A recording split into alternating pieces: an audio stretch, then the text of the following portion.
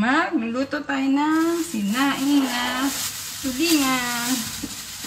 Ito yung binili ko. Maliliit lang siya. Para ano. Sabi natin. Higasan. Higasan.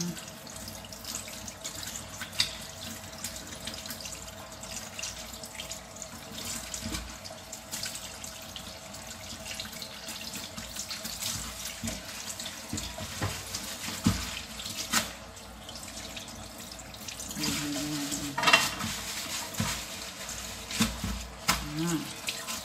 Tapos hugasan din natin yung kamyas. Sa kamyas natin siya isasali. Para naman Kasi binilad ko sa arawan eh. Mamaya malikabo.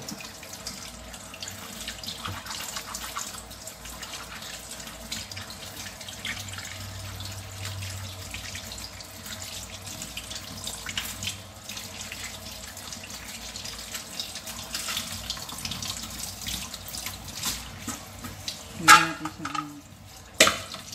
Tapos, lagyan din natin siya ng kamatis. Hibaan natin siya ng kamatis. Itong gato kalaki. Hatiin natin siya sa mga 8 pieces. Para mas masarap.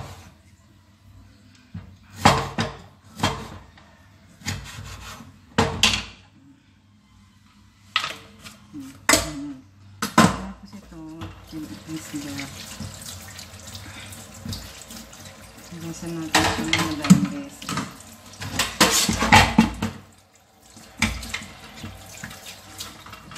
Mas masarap dito ni hiwaan sa gitna.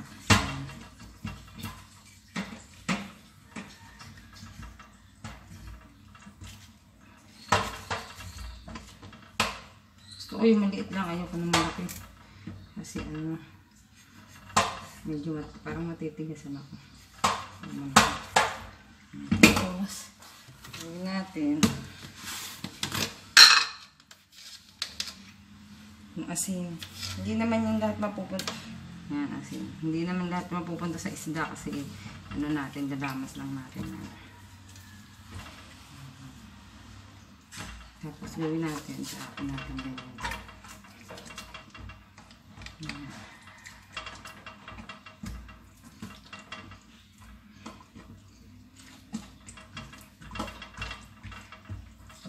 Tapos yan ah. Okay na siya. Yung asin naman, di naman lahat napunta dyan. Mhm. Napunta lang dyan sa baba. Ito na yung ating handa. Nilagay natin dito.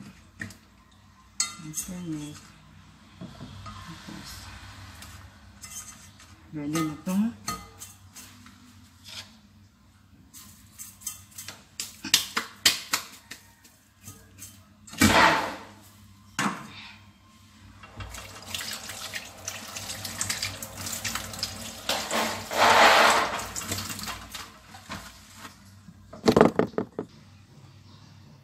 Yan, andyan na siya ngayon. Gawin natin, buksan na natin yung apoy. Yan na lang. Tapos,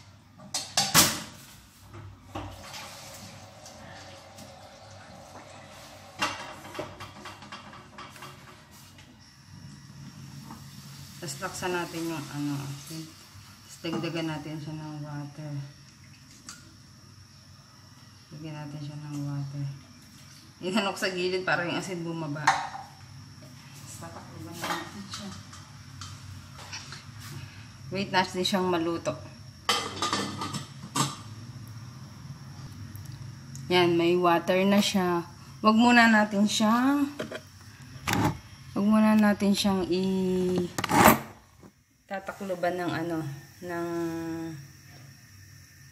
hindi pa siya kumukulo. Kailangan kulong-kulo na siya bago siya takluban. Hindi yata siya makita. Yan, kumukulo na siya. Pwede na siya. Yan, kumukulo na siya. Pwede na natin siyang takluban. Tapos, ano, hanggang maiga siya. Ganun yan. Para masarap.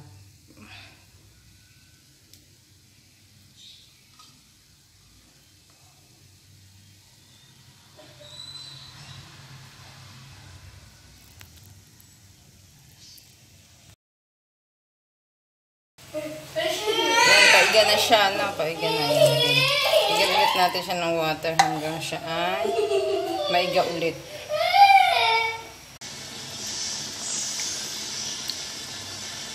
After 3 hours. Yan na po siya.